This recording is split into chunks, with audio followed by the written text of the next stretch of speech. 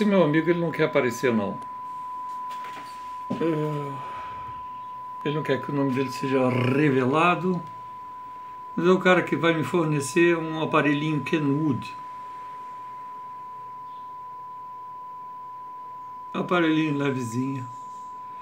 0,020 quanto? 24 menos 0,015 é, 0,0011 né 0.011 aqui é 24 mas eu tenho que deduzir o 0,015 do que distorce essa coisa aqui então tá aí a distorção do, do homem bom vamos voltar para a escala aqui fazer uma sacanagem aqui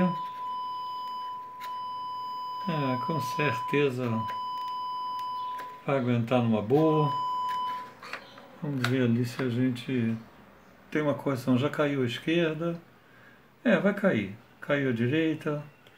Tá legal. Vamos ver varredura de frequência. Essa é uma varredura que vai de. E ficou rodando o celular. Vai de 25 a 20 quilociclos para verificar a linearidade. Então coloco aquele mais ou menos em 15 volts aqui é mais ou menos no meio da escala, e você vai observar que ele não se mexe.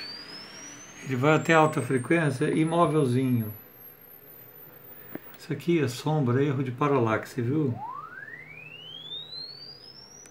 Essa sombra vindo aqui, essa luz, ó.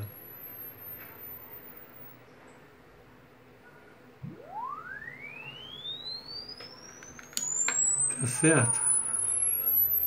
Tirar a sombrinha.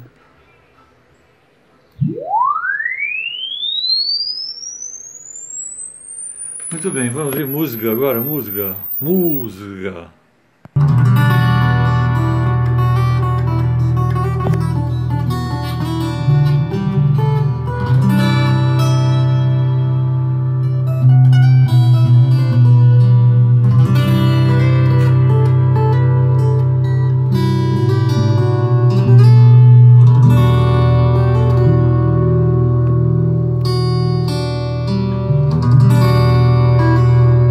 Muito bom.